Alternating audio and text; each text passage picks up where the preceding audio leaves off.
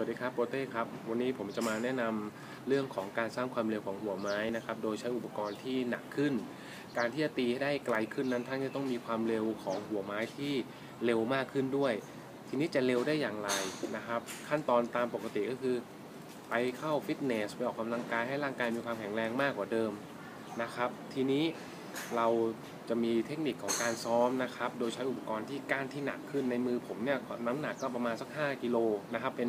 อุปกรณ์ที่ถูกสร้างขึ้นมา เพื่อเอาไว้ซ้อมสวิงนะครับ เมื่อเราใช้ก้านที่หนักๆมากขึ้นเนี่ยสิ่งที่เราจะได้คือความเร็วหัวไม้มาแน่นอนนะครับสองสิ่งที่ดีที่สุดเลยก็คือหน่วยความจำของกล้ามเนื้อที่จะมี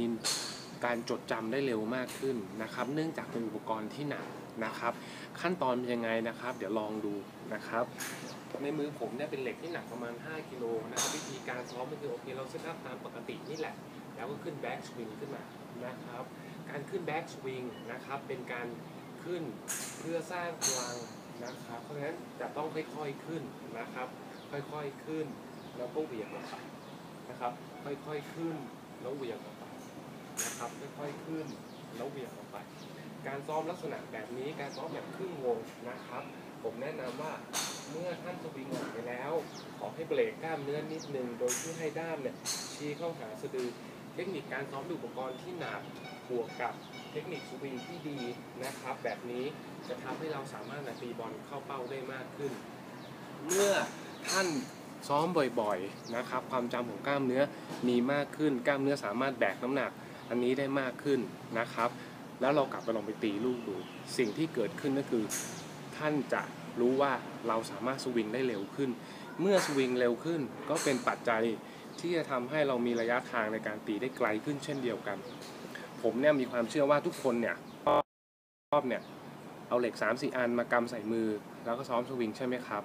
แต่ว่าเราไม่เคยเอาหลักการนี้เอามาซ้อมอย่างจริงจังส่วนมากเรา เหล็ก